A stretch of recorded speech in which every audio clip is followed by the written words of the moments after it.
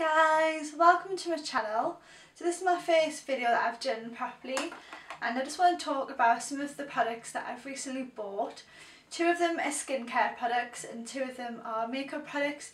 They're all by L'Oreal and I've never used L'Oreal products before but I thought I'm just going to give it a try because I have heard some very good reviews about these products. So I thought why not and they're on a bargain so again massive why not. Everyone loves a bargain especially me. So anyway, the first product that I'm going to be talking about is the L'Oreal Skin Perfection Cleansing and Perfecting Milk and I, I've been using this for about a week now and I do think it works. So it says it removes makeup and impurities, really reveals hydrated and silky smooth skin and it's hypoallergic so it has no alcohol in it and is suitable for sensitive skin. So this product, I do think it works on the skin and it does leave my skin feeling ridiculously smooth, which again is what it says it does on the bottle, so it, yeah, it works.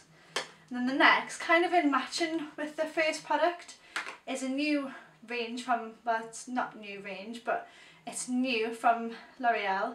And again it's the Skin Perfection in the Skin Perfection range and this is the Radiance Revealing Gentle Exfoliator and I have been using this for like a few days and it does work.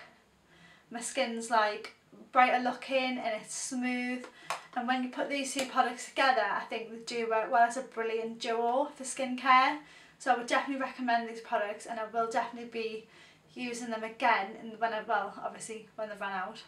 So yeah that's the skincare products and then next I bought some L'Oreal True Match Foundation which I have been wanting for quite a while and I finally got some, so excited to use it. I've never used these before yet, so yeah. The one that I got in the foundation is the True Match Super Blendable Foundation, so I'm hoping it blends quite well. And I have heard really good reviews on this, that it is quite a good foundation for coverage, so fingers crossed it works for me. So the shade that I got was the 1N in Ivory because I'm quite pale.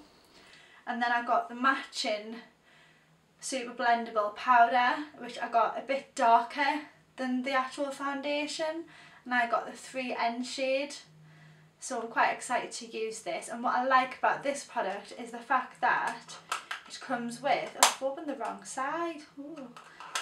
comes with a little mirror and, and also a pad to pop the product on with which whereas I do have my own powder brushes but I might just use this as well just to see what it's like because it does feel really soft and velvety. So yeah can't wait to try these products. Super excited. So if you've used any of these products please leave in the comments below what your what you guys think of it. And yeah so if you've liked this video please give it the thumbs up. And if you haven't well I do apologise so yeah these are the products. Not quite like that. So yeah thank you for watching. Bye